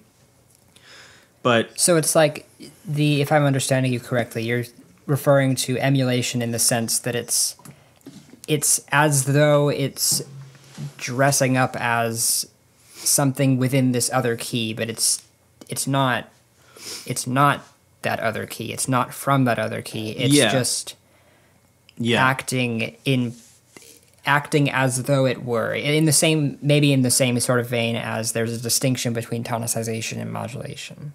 Yeah, yeah. So there there is that, and uh, and and I I'm familiar with like ton- tonicization, and and I get that, and uh, just for me personally, is like for some reason, is it it just feels like it's it's implies too much break from the underlying tonality. And I can see uh, that, yeah. and and so and also too is I think like we like when we have like so when we think of like D um like D major in say like say we're in C minor this is like um, would be a good example of this so if we're in like C minor and we have D major I wouldn't immediately think of it as necessarily being like um, D F sharp A so like unless A shows up um, I will think of the whole thing as just being like, if we're talking about scale degrees, would be like one, two, flat three, sharp four, five, flat six. And then depending on what happens um, in the top, it might be like flat seven or seven. Um, or I might even think of it as like sharp six, seven, depending on how D major resolves to uh, G or progresses to G. But um, I wouldn't think of it necessarily in a relation of like a scale that fits G. I would still think of it in relation to the underlying like minor mode or as you mentioned earlier, like the minor scale. Um, and and and I don't know. I just don't. I don't think of it in terms of like rigid scales. And and I think part Yeah. of that. Um, oh, go ahead. Oh, it's just uh, one thing that. So this, there are a couple of things that from video game music that I learned. Um, I mean, there's tons of things, but in relation to uh, this particular uh, moment is so one thing I, I really started to notice, and once I noticed it in video game, I noticed it in a bunch of like older pieces, especially by like Chopin and and other romantic composers. But um, there's a in Zelda two throughout the score, you hear a lot of uh, sharp nine chords. Um, and well, maybe not a lot, but you, you you hear them pretty pretty regularly. But the way they're used is they usually pop up in uh, in minor tonalities, and um, and what he'll he'll end up doing is use like the minor seventh um, of like the underlying scale, and um, so say we're in like C again, and you have uh, like G seven is he'll use, and the chord accompaniment it'll be like a G seven chord, but in the melody you might have something like um, G A flat B flat A flat G, or G leaping to B flat walking down to to A flat and then G. And this is another instance where like analysis versus performance, and that um, I would question whether or not a chord is actually a sharp nine chord or a flat ten chord Right. um, which you would you would like. I don't think anyone would be willing to play your music if you drop like a G seven uh, flat ten chord. Flat ten, yeah. like, um, like I'm slowly trying to introduce uh, augmented sixth chord symbols of like D flat sharp six, but D flat in parentheses sharp six. Um, And I feel like even that would be like forbidden. Like you would, it, you would like people would revolt and and not want to play it. But uh, um, but yeah, so that was like when we think of scales, um, we think of like natural minor, harmonic minor, and melodic minor. But there's this really heavy use of an overlay of the natural minor and the harmonic minor. So you end up with an octatonic scale, um, not in like octatonic being like the diminished scale, but just meaning eight tones. And then you can have like one flat three, or sorry, one, two, flat three, four, five, flat six, flat seven, seven. And um, and and it's not that they're used like in a in a harmonic sense, but it's just two overlaying ideas. And um, Yeah. and that's never talked and it just about. gets convoluted to yeah, and it, it does get convoluted to think about um, in terms of like harmony and stuff. But I I never heard that mentioned ever. I, I don't think I've still heard it mentioned. It's just something that pops up a lot in uh, and it's usually like it's it's usually embellishments. Like they're they're rarely used as chords, although there is oh I can't remember the tune. It's one of the uh, in the piano collections for Final Fantasy. There's um there's a voicing that uses the flat nine and uh, and the sharp nine with uh, in a way that it, it kind of links into what I'm talking about, where it's like uh, like a minor scale with um, a minor or natural minor and a harmonic minor overlapped. Um, it's really cool. If I find it, I'll try and share it with you later, and then you can disperse it if you want. But uh, um, th- yeah, there's just so many moments in in music that don't they just they just aren't like pretty to talk about, but like Yeah. they sound amazing and they're worth exploring. But just based on like, uh, I guess like our current set of like terminology and all that is, it just doesn't lead to like, um, it doesn't make sense almost. It, And I don't I don't want to say breaks the rules because I hate that term, but right, like, right, right. um, but it, it just doesn't like we don't have a, a, a very good way to talk about it yet, um, to where everyone will Can you- understand. Uh, I I may have missed it, but can you summarize what you mean by uh, sectional tonality? Oh, I never even got into that part. so, so so sectional tonality. So linking back I think I understand what you mean, but linking back to it is that like a lot of times is your modulations end up being um, they're in some way connected to like a really really big detour from the primary tonality as a way to emphasize that tonality. And then to my understanding the the idea of sectional tonality is that it doesn't function in that way that it's more so of like you have these brief tonal centers that that work in succession but they don't like necessarily relate in a in a like harmonically like functional manner in like a especially not in a traditional sense. And there are articles that'll do that for like Beatles music. There's a lot of them for like Radiohead's music. Um, and I think a lot of it ends up coming down to just being like voice leading and uh, like counterpoint and, and like it being that you basically just end up with these like brief moments where you're you're just like vamping on ideas and uh a, a really good example of that would actually be like kind of funk music and Yeah. that you vamp on chords for like so long that they become like their own tonal center right. but they're not Yeah, developed I, or anything I was thinking or- of right. I mean, like, uh, well, this isn't an example of of the vamp idea, but uh, I've been thinking for a while about something that I've been calling, uh, I've been referring to as localized tonicization okay. uh, on the um, OC server, and it's something that I noticed amongst a lot of rock composers primarily, uh, but a specific so some some specific examples: uh, Jun Senoue of the Sonic series, uh, Junichi Masuda of the Pokemon series, uh, Motoi Sakuraba of Golden Sun Mario Tennis and Mario Golf. Um, will write this way where you have um, it's if you just take the idea of a pivot chord in modulation and then you just look at every chord as a potential pivot chord that's kind of like the idea so for example there's um there's a song by Jun Senoue from the uh, NASCAR arcade soundtrack and it's I forget the title of the song. It's one of two songs on that soundtrack, and I always flip their titles around. But it's um I'm gonna have to remember. I haven't played it in a while, so like it starts out uh, in the key of G, and it's like very clearly set there.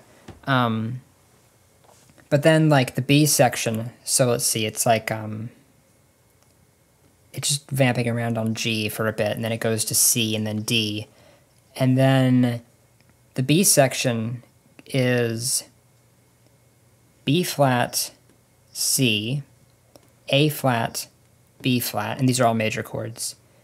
Um, D flat, E flat, F, and it's so to repeat that B flat, C, A flat, B flat,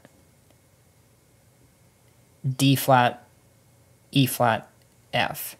And the phrase or that that section ends on F in a very uh, well D flat E flat F sounds like flat six flat seven one at that mm-hmm. point, but then it moves up again to G uh, mm-hmm. for the return to the A section.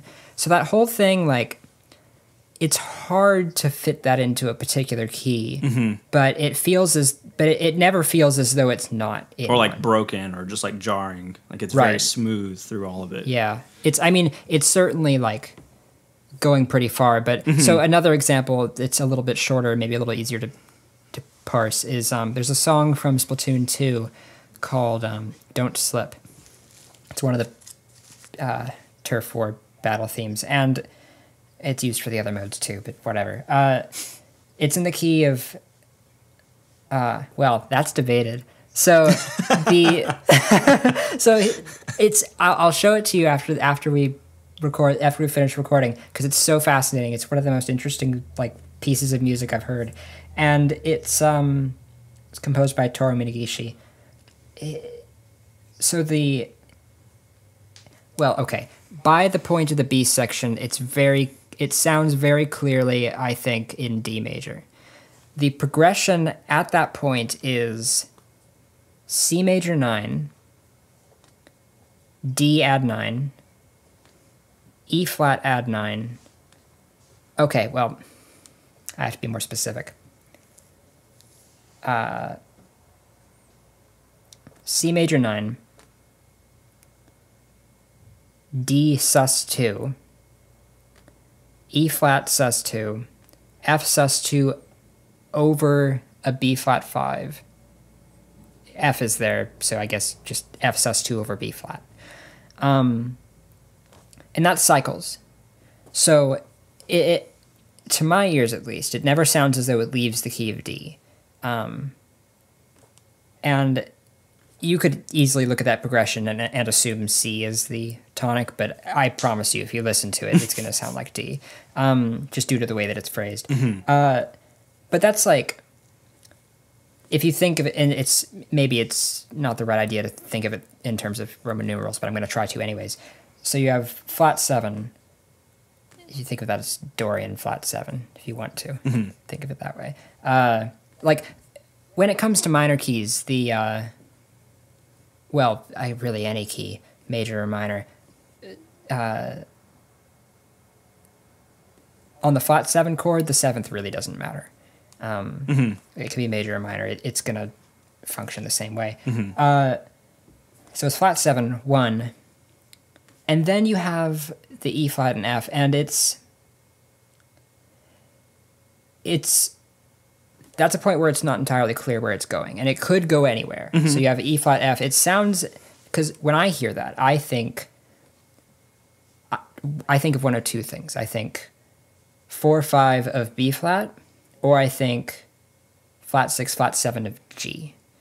And because it's kind of setting up both of those. And And sorry to interrupt, but is that F when you say F, is that the one with B flat in the bass? yes. Okay. Um, and so, but another way of looking at that, just due to the way that it loops back, you have F, that's the four of C. B flat is the flat seven of C.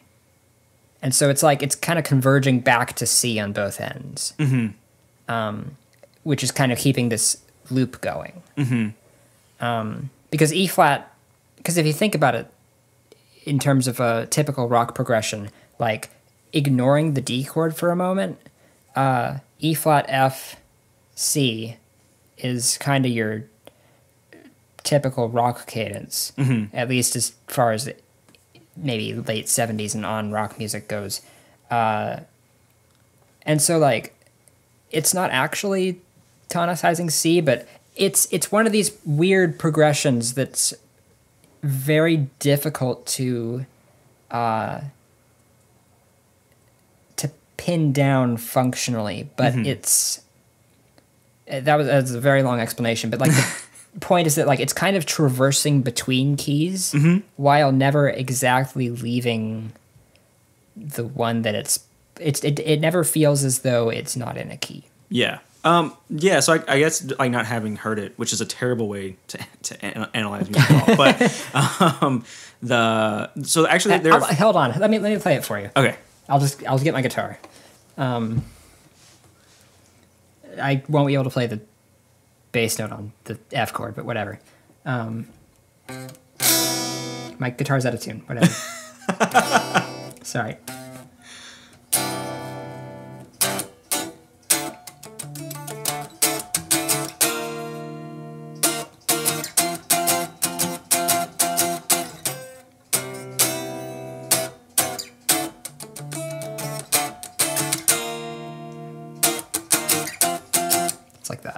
Okay, yeah. Um,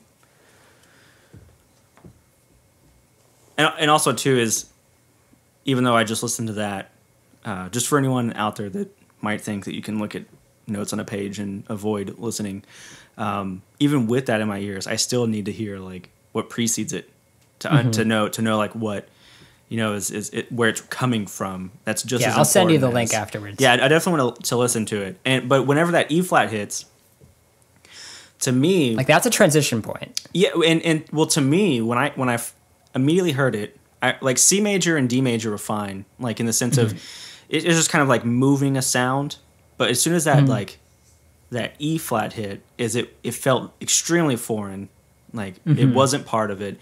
But to my ears, is it felt like the the feeling you get when you are um, actually I, I can i can there's a i don't know if you're familiar with um, there's a new game that's in development that's like a, an indie game called uh, chained echoes. Have you by chance? I haven't heard of it. so it's, it recently got funded on kickstarter and uh, i've been talking to uh, one of the, the composers and i was checking out a tune he released and it's set in like if you were going to pinpoint modes it would be like uh, mostly in c aeolian and then at the very end it shifts to what could be referred to as like um, to c phrygian so you get that um, Okay. c to d flat and uh, and when you hear it like you hear like that D flat chord is like very foreign to the sound, but you hear it immediately like wanting to kind of just pull back down. Um, And that's like when you hit that E flat, it sounded to me like that. Like it, it was like a, a neighbor chord of of um, like an, a very literal like neighbor chord of of D major, and then everything was just like a semitone away kind of thing, uh, wanting to just like pull back, even though like it wasn't voiced in that manner. It's it like is it. Uh, um, it, I heard it relative to like that D, and then instead of returning to it, it just pushed further away to like F, and then just like reset.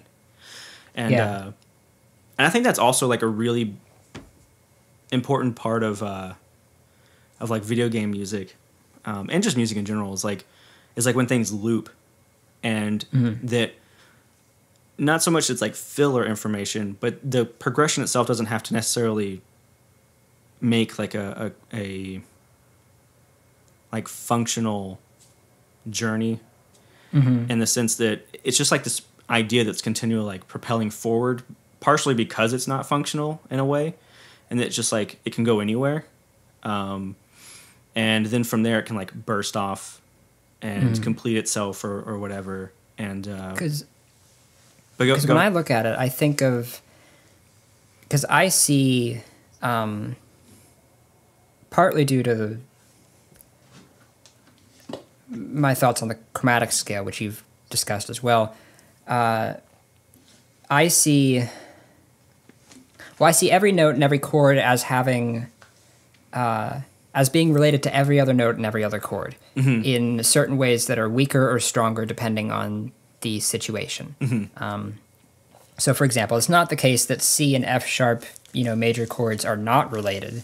It's just that if you're in the key of C, well, if you're in any key, really, it's going to be harder to it's going to be hard to reconcile them. But that's a bad example. But wait like, did you say did you say c c major and f sharp major yeah, yeah, Okay. that's that's a bad example. It's hard to reconcile them in, in any case. But like, uh, you can come up with examples. But like the anyway, the point that I'm trying to make is that like, uh, I see um, virtually infinite uh, connections between whatever a given chord is and all the other potential chords, and then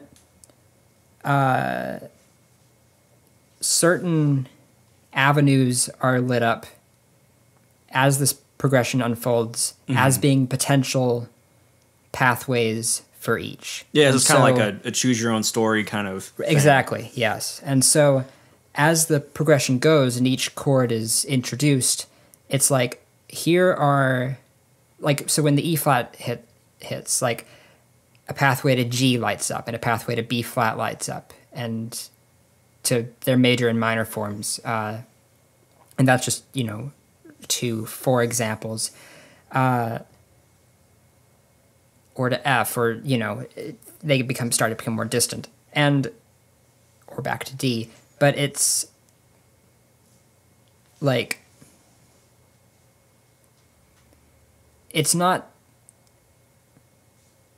I think what I'm trying to say is that like it's not as though you can look at that progression and say that there's one way that each of these chords is functioning, but that each one introduces the possibility to go in a thousand different directions, maybe two or three of which would be the most likely, and then it chooses one of them. Mm-hmm. And that's just the one that it happens to choose. And so, in that sense, it does have a function, but in another sense, the function was not predefined. yeah and, It and was also kind of up in the air. and this is so there were, there were kind of two points that came up to mind whenever you're talking about is the first point is like the idea of like theory being universal. Um, and that i feel like that's something that like it took me kind of a while to to finally just come to terms with that. Um, in that a lot of theory is designed for like particular styles of music. And that doesn't mean like you can you can expand theory to fit new styles but sometimes it's just like this music just won't be analyzed well with this other system because it's a different system. It's almost like kind of like trying to. I was talking to someone about this before about. Um, it's kind of like if you have like screwdrivers and you have like a Phillips versus a flathead. Um, Like, just because a Phillips can't work on like a, a flathead doesn't mean that the Phillips is worthless. It's designed for a particular like screw head, and that's what it's optimized for. But that said, sometimes a flathead can unscrew um, Phillips just because of That's a good way of putting it. but th- and like for me this is like a, a it's it does not mean that the flathead is necessarily a better tool overall because it has somewhat more versatility because at the end of the day your phillips is going to be like optimized for that screw head. No matter like whether or not the the flathead can get in there and unscrew it. And i feel like there's a lot of stuff that that we try to do. We try to force systems that were designed for particular styles of music. And if it doesn't fit in there instead of trying to find like a new answer we're just like oh it's not functional. Um, and uh, and in this case is like what you're talking about that's like like a, a very interesting way to think about chord function in the sense that it, it's not so much predetermined function and that it, it has like a set like route, but that it's very like free functioning.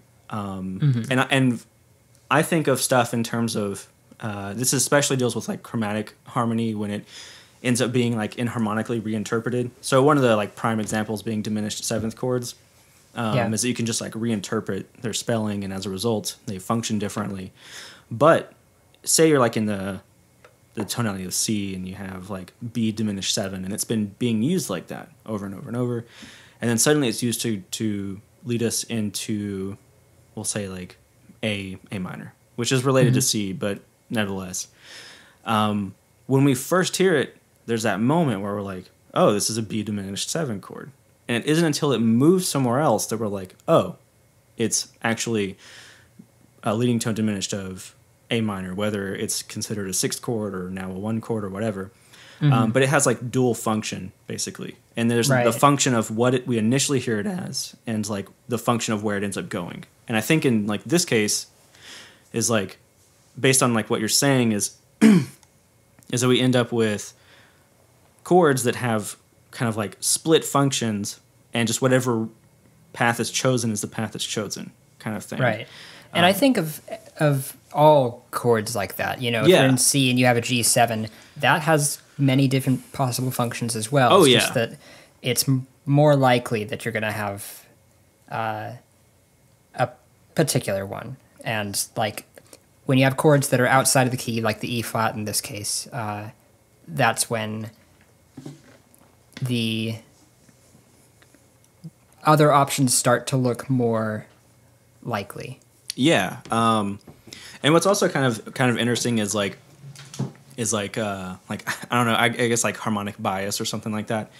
Um, one of the primary examples of this being um, being what's referred to as like dominant seventh chords, and uh, I find it really interesting that in a, a lot of cases for like quote unquote non-functional harmony is it's usually a dominant seventh chord being used in a way that's not like a dominant seventh and uh, and you'll end up finding like really intense, oh, like overly convoluted ways to think about. And I, I've done this before, so I I can I can say that like you'll you'll go through like so such distant, far fetched relations, and you'll be like, it's this related to this chord that's somehow related to this chord over here, but it deceptively resolves, and you're like, that that we don't hear that. Like so um and part of it i feel is just because of what we call it. We call it a dominant seventh and so we think of it as dominant function. And that's why now i will refer to those chords as major minor seventh chords unless they have a dominant function. Um, yeah. and the reason why is because, uh, for instance, like in a minor mode, super common to hear like um, a four seven voiced as like a major minor seventh chord, or you could think of that as like the Dorian four. Um, Yeah. And it will go to like the five chord, and that is not a quote unquote deceptive resolution of resolving up a um, a whole step, but it was originally a five seven, a flat seven, or something like that. It's just a subdominant chord moving to a dominant chord, and by calling it a dominant seventh, we like run the risk of it being like some convoluted dominant chord that Right. doesn't work how we expect it. And there are so many times where, especially in like the romantic period and stuff, where you'll see um, major minor seventh chords used for like voice leading purposes because they're tension and because they are tension um, they have the opportunity to just resolve and as long as you go from like a certain point of tension to like a lesser point in a way it feels like resolution um, Right. especially if it's happening a like briefly and you're just like passing through like a chain of chords um, or if you um, depending on like the the form like where you are in like the metric design you know like if you're arriving to like a big cadential point then odds are you're going to fill it in like that dominant functioning way or whatever. But if it's just like a chromatic major minor seventh chord and um, isn't functioning a dominant chord that doesn't mean it's non-functional. It could just be counterpoint at that at that at the moment in time or um, it just could it really just is voice leading at the end of the day. It typically is voice leading. Like for instance, um, so there's one super popular example, which is like the creep progression of like uh, one three was it like one three seven to minor four, so like C major to E seven to F major to F minor. Okay. That yeah. that Radiohead tune, um, and that people will, will be like, oh no, it's a five seven of six, but it's deceptively resolving to the 4 Mm-hmm. chord, which is the flat six of the six, and you're like, whoa, that's that's really like uh, a lot of like connections made when you could just be like, Mm-hmm. oh, it's just like um, it's just voice leading. well, I mean, like the way I look at that is um, the so the E major uh, is is is it E or E seven? I think it's voiced as E seven. Okay, so E seven. I mean, from the perspective of being a secondary dominant, that would be five of A minor, and so in a sense, it would be correct to say that it is the five of A minor and it deceptively resolves. But mm-hmm. it's, and I I have explained it in that way in the past, but I have as well. it it's that doesn't really give a lot of information when mm-hmm. you're because it's like what's really happening is that so you have the um G sharp and D which resolve to A and C. And mm-hmm. that can be harmonized as an A minor chord or it can be harmonized as an F major chord and because F major contains A and C as well Right. and so that res- it's like the tritone substitution. The inner resolution is completed, but the auxiliary notes of the chord are different. It doesn't really matter. Like it's F major and A minor are both uh, um, ways of resolving that chord in the same core manner. And so it's not so much that it's that resolving to F is a you take a step at A minor and then you transform that. It's that it's another possible step of the group of uh, of the avenues that it could take. And sure maybe A minor is the most common because it's the best supported, but F is pretty close. Yeah, yeah, and and also too is like, um, like I know, and also it, it could be that I've just heard it so many times that you know when you hear it, it's like it's not. I mean, it is. It's not to me. It's not surprising. It is uplifting, but it's not surprising in the sense like you were deceived. Like it feels right. Um, right. I mean, I hear that so often, anyways. Yeah. It's not really a really surprise to me. Yeah, and um, and but what's also cool too is when you when you look at the progression, like the overall, is you end up seeing that uh, you have so G the fifth of C, you have G sharp the third of E seven, you have A the third of F, and then you have A flat the minor third of F. So like it's it ends going up back and forth. Yeah, it just ends up being like voice leading at that point. It's just Yeah. like G G sharp A A flat, just back and forth. Yeah. Um, and you know mean, it's an elaboration of that. yeah, and another example that uh And you could use A minor to get that as well, but that it just- Yeah. they don't. They don't. yeah, and and it's not like and you they're different or chords, and so- it's just Right. just is what it is. You know, kind of like what you're saying with the other progressions. Just po- a ton of possibilities, and whichever one you choose, as long as you make it work, it it, it functions. Um, and uh, which I, I want to comment on on function in a moment, but uh, um, another example could be like if you're in C and you you go to like C seven over B flat and then to A minor, that could be like perceived as being um, like a, oh, it's like oh so it was a five seven of four, but it goes to its mediant of four, which is the sixth chord A minor, and that's why it works. But it could also just be like well it's just a descending bass line leading into to A. Like it, it does it have to be any more than that? Um, There's like, because you have the. Uh, well, yeah, yeah. I mean, you you have a a destabilized uh, chord here because it's first of all you have the tritone and then it's in third inversion, which doesn't help it either. Right. And that just it drags the bass backwards as hard as it can and a, a semitone back to A. Yeah. And also too is that because it's in that inversion, is it and the seventh is in the bass, it's expected that it falls down. Right. Just because that's the way like tendent like uh, your tendencies of that sonority. Yeah. Um, but it's like, does it really feel like deceptive to go to A minor instead of of uh, Mm-hmm. to to F? And another one being like um, like for instance in your like lament basses, uh, when you have like so you say you're in like C minor and you have like C B B flat A etc. all Mm. that.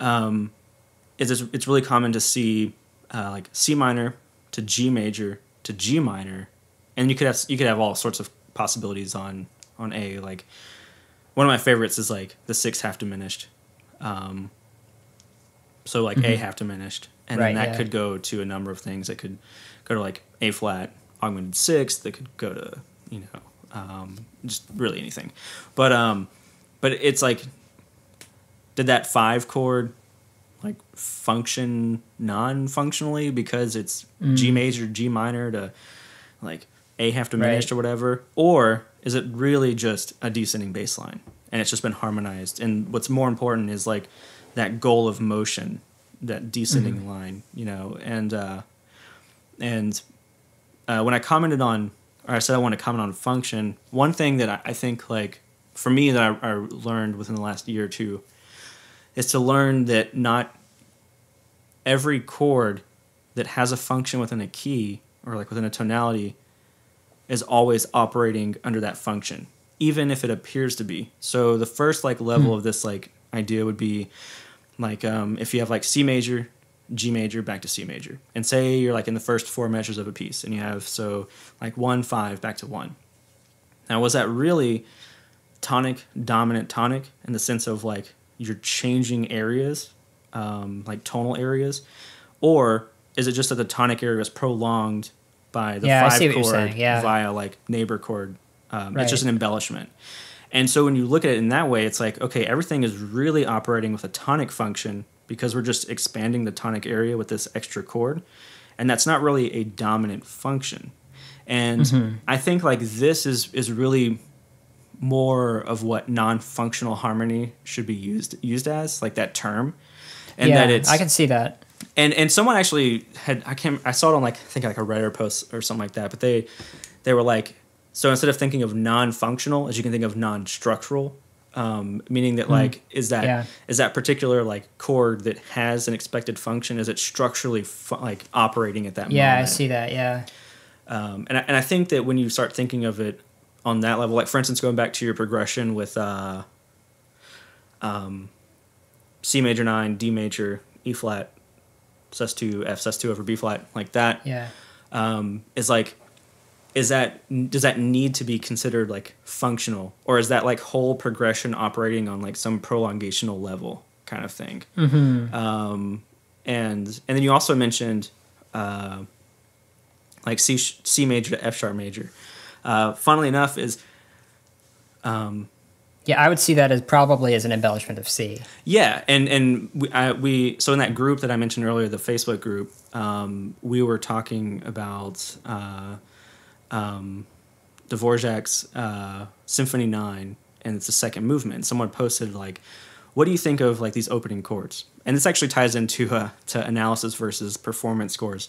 So the score is written in uh, D flat major, and the first chord you hear is written as E major and then it goes to B flat major over D, and then it goes back to E Okay. major, and then it goes That's interesting. Taking advantage of the inversion. To oh man, um, it goes oh then it goes to D flat major, so E major D flat major, and then it goes to A A major, yeah, it goes to A major, Yeah, I see it. and then it goes to uh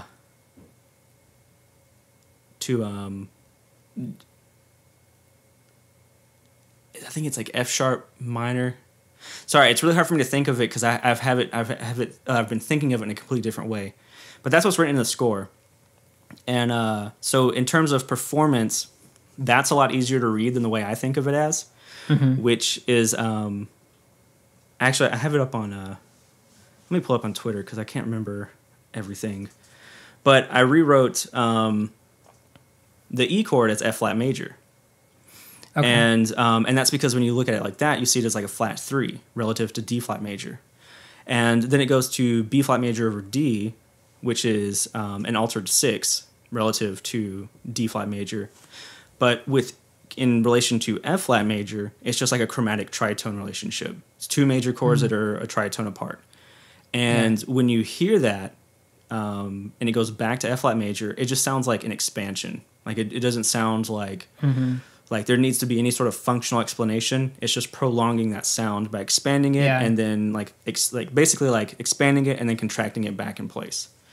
Um, And then and this is where it's really interesting in regard to function is you have F flat major, then going to um, to D flat major. And so if you look at the score, you know that D flat major is the tonic because it's like the key signature and it ends up being the the like when you get a quote unquote cadence, it ends up being like that uh, D flat major. And but at this particular moment, you don't hear it as like tonic. And I mentioned this in the group, and other people were like, "Yeah, I definitely do not hear it as like a like harmonically functioning as like a one as a one chord." it takes time to stabilize. Yeah, and it's because like you hear it. So you had F flat major to B flat major over D, and so that was used as an expansion. Then you have F flat major to D flat major, which is a chromatic mediant relationship. So again, it sounds like that romantic period expansion and then contraction. Um, But what's cool here is after that D flat major, it ends up going to B double flat major, which is the flat six chord. And so then, if you look back at it, you have like F flat major, D flat major to B double flat major. And so F flat major D flat major is a chromatic mediant. D flat major to B double flat major is a chromatic mediant. But if you connect the two, so F flat to D flat's a minor third, D flat to B, B double flat's a major third, that together is a fifth, you end up having like a uh, descending fifth progression of like F flat major to B double flat major. And when you consider like this relationship, uh, and you also think of like the metric position of everything, is like F flat majors on like uh, is the first two measures on beats one and two, and then you have uh, B flat major over D on beat three and four of measure one, and you have uh, D flat major on beat three and four of measure two, and then you have B double flat major on beat one of measure three. So if you were to just like extract those extra chords, uh, B flat major over D and um, D flat major, you just have F flat major, F flat major, B double flat major. And um, so, but the, the whole point being, that's probably like really confusing to think about. um, but uh, the, the point being is that like when you hear that one chord is like in your mind, when you're looking at the score, you might be like, oh, that's tonic function. But when you listen to it, it's not tonic function in the sense that Right. it doesn't feel stable like a tonic chord.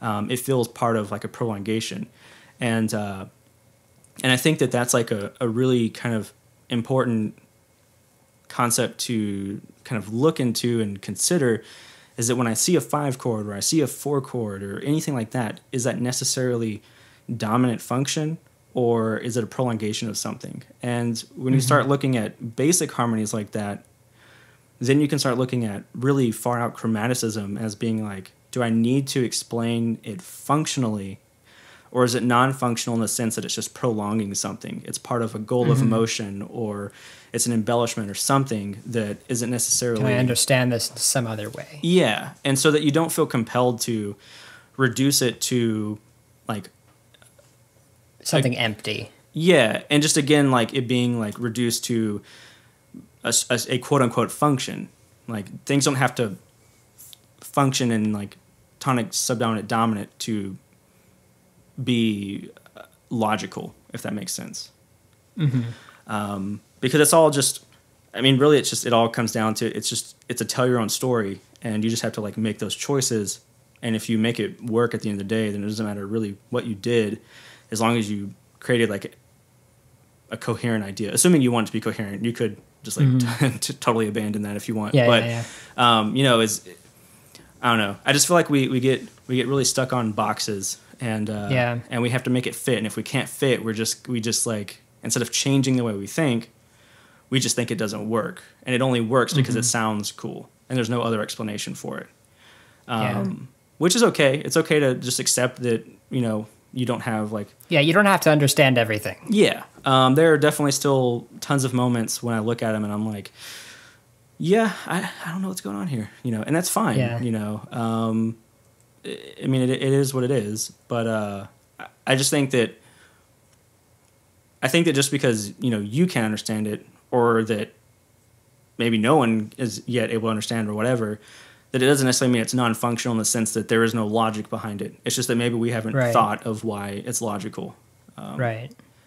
So, uh, but yeah, I think that's a good stopping place for now. I would love to continue this much longer, but um, it's been a very interesting conversation. And I'm Definitely, glad that I'm glad that we had it. I do. I want to do this again sometime. absolutely. Yeah, I was I was honestly like super nervous about it, but uh, yeah, this is my first um, uh, like podcast kind of thing. um, so uh, or live talk for sure, Mm-hmm. um, especially since I've like graduated school. So, whew.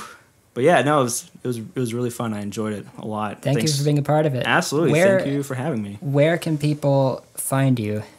Um, so on if you want to hit me up on Twitter, uh, you can find me there, and I'll have links to all these. In the it's uh yeah uh, you know GUIM Music Theory. That's a good way. Um, I'm on Patreon.